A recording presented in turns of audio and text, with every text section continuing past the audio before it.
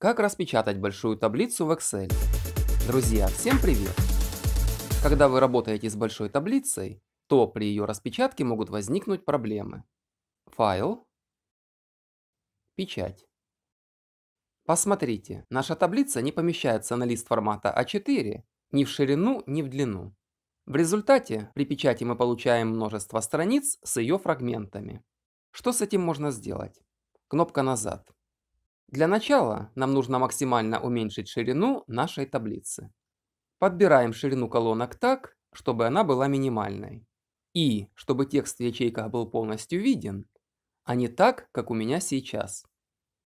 Удерживая левую кнопку мыши, я выделяю все заголовки своей таблицы. Дальше подвожу курсор к границе любого выделенного столбца и делаю двойной клик. Посмотрите, Excel автоматом подобрал минимально возможную ширину каждой колонки. Кому-то это поможет, но в нашем случае таблица стала еще шире. Давайте вручную уменьшим ширину самой большой колонки. Например, вот так. И, разумеется, нам нужно разрешить перенос текста в ячейках. Выделяем колонку C и на вкладке «Главное» нажимаем кнопку «Переносить текст».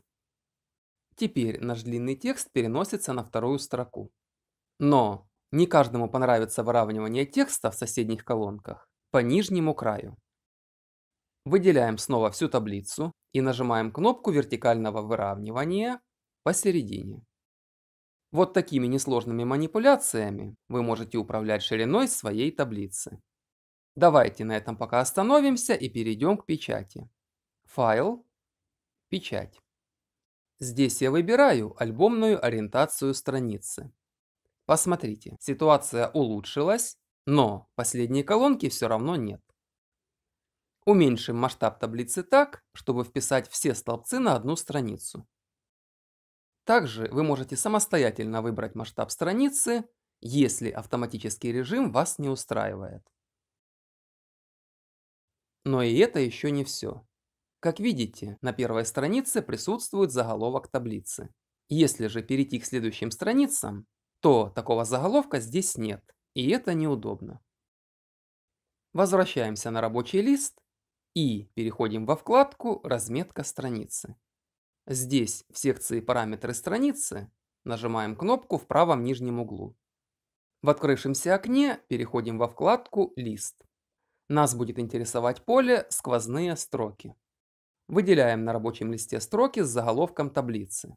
У нас это первая и вторая. Окей. Посмотрим, что получилось.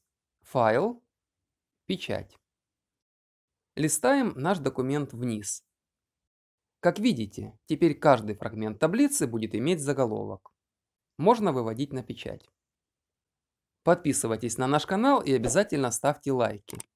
А кто желает принять участие в развитии канала, то на главной странице доступна функция спонсорства.